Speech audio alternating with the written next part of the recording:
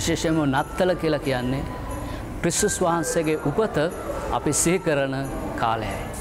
ඇත්තටම ඇයි ක්‍රිස්සුස් වහන්සේ ඉපදුනේ මනුෂ්‍යයට සාමය ගෙන දෙෙන්ට.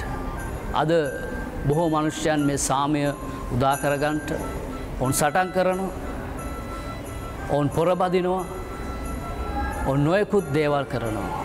නමුත් ක්‍රිස්සුස් වහන්සේ මේ ලෝකෙට ඉපදුනේ සමාධානය සහ ගැලවීම ගෙන දෙෙන්ට. උන්වහන්සේ හඳුන්නනවා සාමයේ කුමරුව හැටියට. මේ නත්තලේ ඔබට දෙන්න පුළුවන් පණිවිඩිය තමයි. ඔබේ ජීවිතයට ඔබේ නිවසට සමාධානය අවශ්‍යද ඔබ ක්‍රිස්තුස් වහන්සේට ඔබේ ජීවිතය තුළ ඉප දෙන්නට අවස්ථාවක් දෙන්ට.